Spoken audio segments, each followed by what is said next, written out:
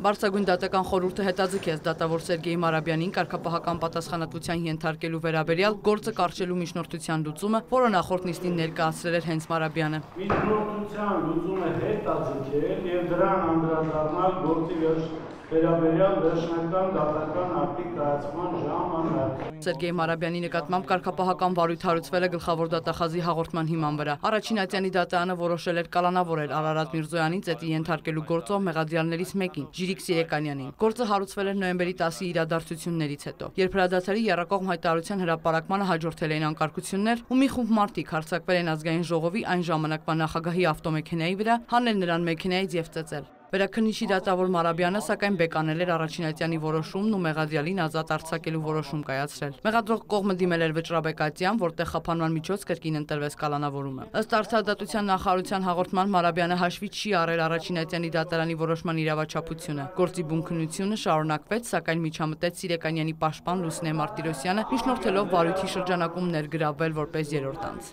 Ձեր կողմից կայացվելիք յուրաքանչյուր որոշում անմիջականորեն վերաբերվում է իրեն եւ ազդելու է գործի քննության վրա։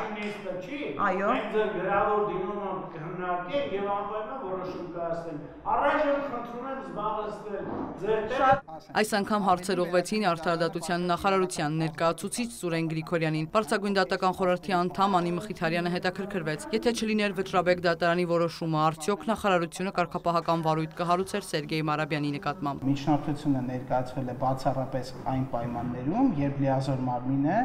համոզմունք է ձևավորել, որ արկա է դատական օրենսգրքով նախատեսված դատավորին կարգապահական պատասխանատվության ենթարկելու հիմք։ Սա առաջի փաստ։ Վերաքննիչ քրեական դատարանի դատավորն այսօրվա նիստին միջնորդեց կասեցնել իրեն կարգապահական պատասխանատվության ենթարկելու գործով վարույթը եւ դիմել սահմանադրական դատարան։ Մարաբյանի խոսքով դատական օրենսգրքի համապատասխան հոդվածի սահմանադրականության հարցը բարձելու համար։ Դատական օրենսգիրք սահմանադրական օրենքի 142 հոդվածի առաջին մասի առաջին կետի համաձայն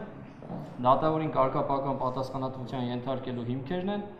արդարադատություն կամ որպես դատարան օրենքով նախատեսված այլ լիազորություններ իրականացնելիս նյութական կամ դատավարական իրավունքի նորմի խախտումը,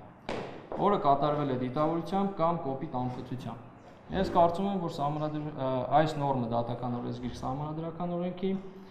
ակասում է սահմանադրության 162 հոդվածին եւ սահմանադրության 164 հոդվածին։ 162 հոդվածի Առաջին մասը սահմանում է, որ Հայաստանի Հանրապետությունում արդարադատություն իրականացնում են միայն դատարանները սահմանադրությանը եւ օրենքներին համապատասխան, երկրորդ մասում նշվում է, որ արդարադատության իրականացմանը որևէ միջամտություն արգելվում է։ 164 հոդվածում ուղղակիորեն սահմանված է, որ դատավորը չի կարող պատասխանատվության ենթարկվել արդարադատություն իրականացնելիս հայտնած կարծիքի կամ կայացրած դատական ակտի համար։ Պարսագույն դատական խորհուրդը որոշեց դատավոր Սերգեյ Մարաբյանի նկատմամբ կարգապահական վարույթ հարուցելու գործի քննությունը հետաձգել, կողմերին հնարավորություն տալով ծանոթանալ միջնորդություններին ու պատրաստվել ելույթների։ Անի Օհանյան, Հովանես Քուրքշյան, լուրեր։